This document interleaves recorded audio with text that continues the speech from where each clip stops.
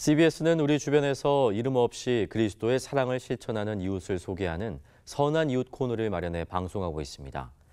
오늘은 광주광역시 월계동 고려인 마을에서 고려인들의 손과 발, 입이 돼주고 있는 이천영 목사를 유영혁 기자가 취재했습니다. 광주 광역시 월계동 고려인 마을. 지난 2002년부터 고려인들이 하나 둘씩 모여들기 시작해 지금은 5천 명이 살고 있는 곳으로 추정됩니다. 고려인 마을은 인근 하남 산업단지에서 외국인 근로자들을 대상으로 사역하던 이천영 목사가 고려인 신조야 씨를 만나면서 시작됐습니다.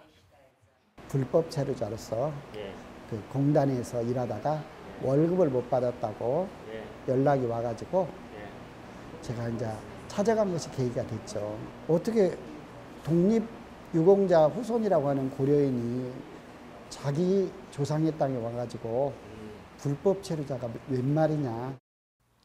광주 고려인 마을에는 고려인 교회인 새날교회와 유치원, 협동조합, FM 방송국 등 고려인들이 공동체를 형성하고 있습니다.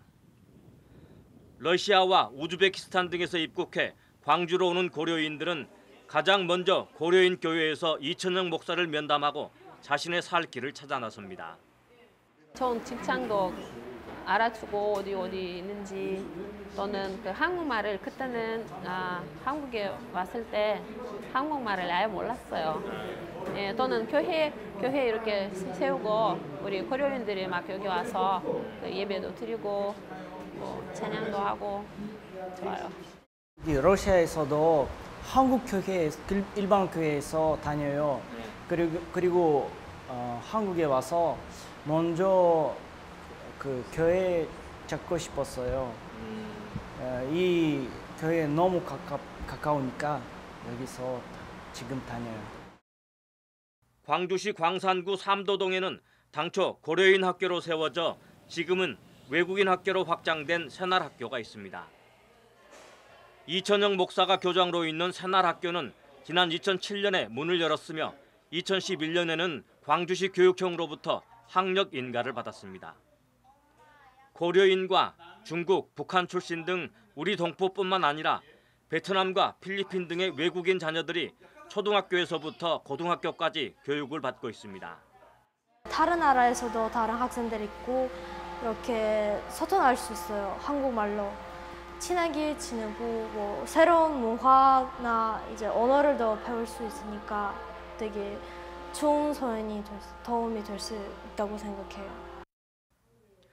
학교와 어린이집, 협동조합 등을 일군 고려인 마을 공동체의 중심지인 고려인 교회는 고작 18평.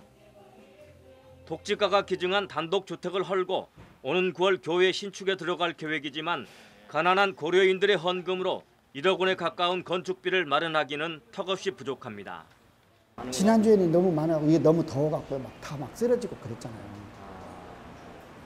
그이 할머니들을 보고 저 오라 소리를 못 듣더라고요. 지금 열심히 기도하는데요. 하루속히 건물을 지어서 모두가 시원한 예배를 드리고 또 많은 사람들이 교회를 오고 싶은데 한 100명, 150명 잡아버리면 관리들 팀이 없, 없거든요. 자신이 태어난 나라의 가난을 피해 고국으로 돌아온 고려인들은 말과 문화가 다른 고국에서 이천영 목사의 도움을 받아가며 광주 월곡동의 교회를 중심으로 힘겨운 새 생활을 하고 있습니다. CBS 뉴스 유영혁입니다.